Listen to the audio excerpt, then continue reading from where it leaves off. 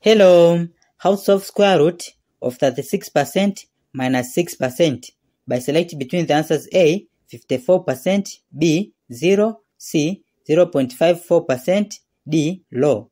So this expression will be equal to this square root of 36% is same as 36 over 100.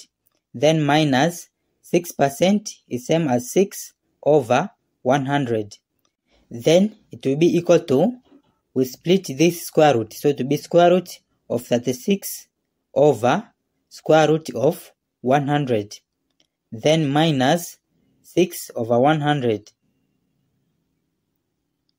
then in next step it will be equal to square root of 36 is 6 over square root of 100 is 10 then minus this 6 over 100 then it will be equal to LOCM of 10 and 100 is 100.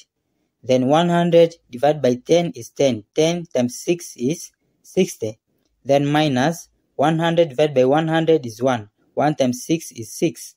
Then it will be equal to 60 minus 6 is 54 over 100. Then it will be equal to, we change 54 over 100 into decimals, which is 0.54.